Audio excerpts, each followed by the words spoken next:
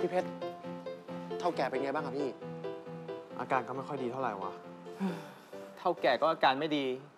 อาอ่องก็ไอ้ต้องไอ้ชิบหาย แล้วอย่างนี้อู่เราจะเป็นยังไงอะพี่ มันก็ต้องเป็นเหมือนตอนที่อาอ่องอยู่ไง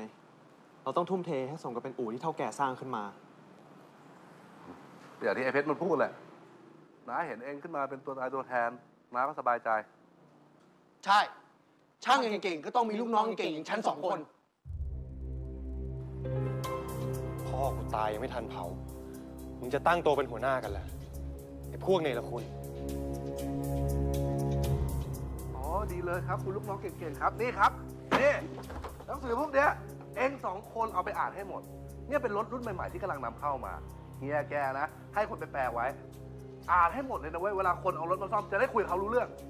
โหนะ เยอะขนาดนี้ใครจะไปอ่านหมดครับ ใช่ใช่อ่านไม่หมดหรอกนะ นี่ ดูนี่ทั้งหลังเนี่ยนะ ของไอ้เพชรเป็นคนเดียวโอ้ยจะบ้าเหรอพี่เพชร พี่ทำงานตั้งหลายที่นะ แล้วพี่จะเอาเวลาที่ไหนมาอ่านหนังสือพวกนี้อะครับ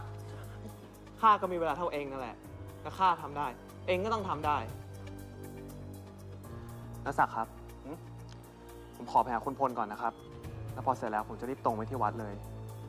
แต่ว่าถ้านักศักดิ์มีอะไรให้ผมช่วยนักศักดิ์ก็ให้คนไปตามผมได้เลยนะครับ เออ นี่แล้วที่ถ้าคุณพลเขาให้เงินไว้อะเองก็รับไว้บ้างเถอะวะอะทำตัวเป็นช่างอาสา เอะอะอะไรก็ทำให้เขาฟรีๆไปหมดอะไม่เป็นไรครับนักศักดิ์นิดหน่อยเองซื้อใจกันดีกว่าพ่อผาอะเดี๋ยวนะเอากุญแจไว้ที่เดิมแล้วกัน งั้นเดี๋ยวพวกผมสองคนตามไปช่วยที่วัดนะพี่ ส่วนเรื่องหนังสือไม่ต้องห่วงนะครับ เดี๋ยวผมกับไอโก้อะช่วยกันอ่านให้หมดเอง พี่เพชรทำได้อะผมกับไอโก้ก็ทำได้เหมือนกัน ใช่พี่ เดี๋ยวผมจะทำให้พี่ดู ผมจะอ่านทั้งหมดนี่เลย ถ้าอ่านไม่เข้าใจนะ ผมจะกินมันเข้าไปด้วย เออไม่ได้อย่างที่พูดแล้วกัน